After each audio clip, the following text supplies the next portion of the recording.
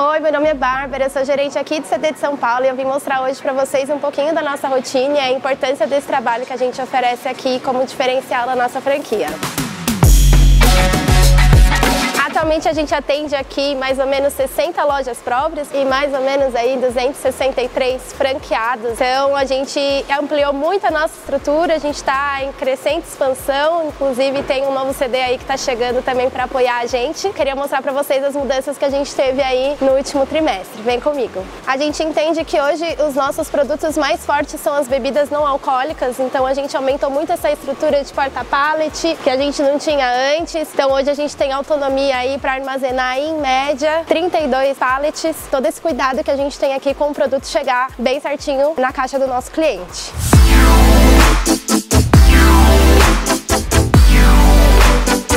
Nosso setor de mercearia, então a gente está em constante evolução e mudança. Então, recentemente a gente fez um novo endereçamento, então, por embalagem, o mesmo cuidado que a gente tem com os demais produtos, em tudo chegar em perfeitas condições, sem nenhum tipo de avaria e a gente ter 100% de aproveitamento aí do nosso cliente e também uma melhor gestão do nosso estoque. Aqui é a nossa área de recebimento de mercadorias, então a gente tem todo esse cuidado de deixar duas áreas distintas para a gente não ter nenhum tipo de condicionamento entre a retirada de pedido e o recebimento de mercadorias. Essa aqui é a nossa área de retirada dos franqueados, então todo esse cuidado em a gente isolar uma área que seja dedicada apenas a eles. A gente tem aqui os produtos que vêm separados, então unitários por caixas porque a gente entende a dificuldade que é em atacadistas, em mercados e ter que fazer toda essa busca. Então a gente já deixa os produtos prontos só para serem inseridos aí na gôndola. Então isso reduz tempo, faz com que o franqueado tenha mais tempo para atuar em questões estratégicas e no que realmente vai gerar aí uma receita maior para ele.